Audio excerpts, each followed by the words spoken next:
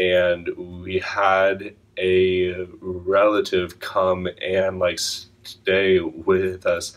And like that what what what was just just like very very very very he- heavy on me. I'm not scared of anything.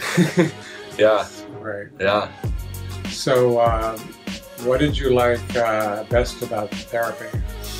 Like this one actually works This one, actually. yeah yeah Okay, so how was your speech before? Kind of describe that, and how is it now today?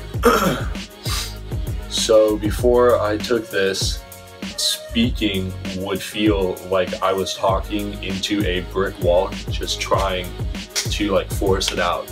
But now, I like I don't feel as like claustrophobic in life. Yeah, you have to find a way to make it work. Yeah.